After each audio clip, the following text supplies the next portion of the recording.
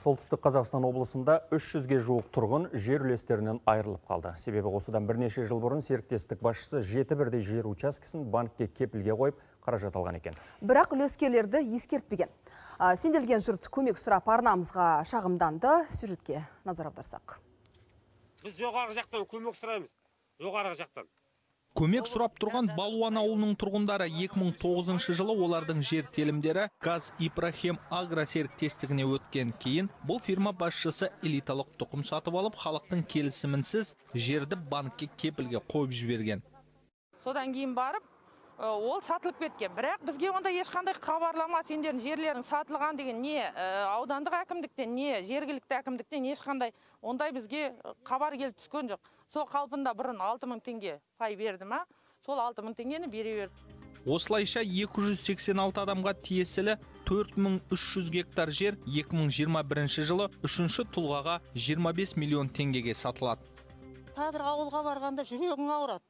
Ертең ел жұртымызға ұрпағымызға нені көрсетеміз сендердің ата бабаларың туған жерде көрсетуге ана жерде обал өте өкінішті жағдай болып тұр Қазір 200-ден астам адамға 6000 теңгеден дивиденд беріледі. Қалғандары бұл үлестен де қағылып отыр. негізі осы ә, халық тағы да ашынып ә, февраль март кезінде бір жиналамыз дегенде біздің ауданның әкімі тоқтатты. Прокурор екеуі сендер ала алмайсыңдар бұл жерді. Неге десеңіздер бұл жерді ә, заңды түрде сатылған деп.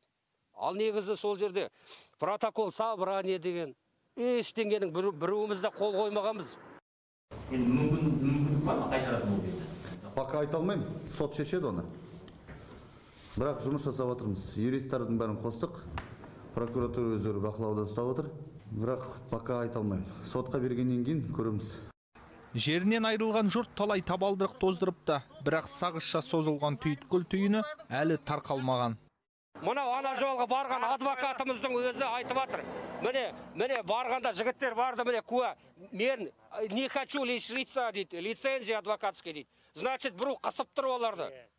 Жергілікті адвокаттардан көмек болмаған соң мәселенің ақ-қарасын анықтау үшін Алматыдан және Елордадан заңгер сарапшылар келді.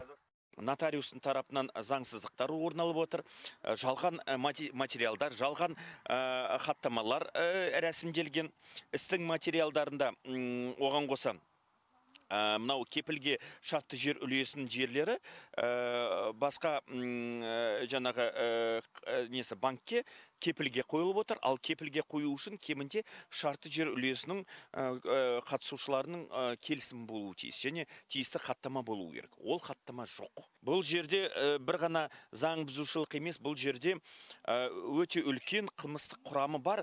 Бірнеше іс әрекет орын алып отыр. Заңгерлер жер кодексінің негізгі баптары бұзылғанын айтуда, сондықтан оны сыбайлас жемқорлыққа қарсы іс-қимыл агенттігіне беріп, қылмыстық іс қозғауды талап етпек. Солтүстік Қазақстан облысынан Хайдарбек Айтмұхамбетұлы Руслан Әлиев, қорытынды жаңалықтар.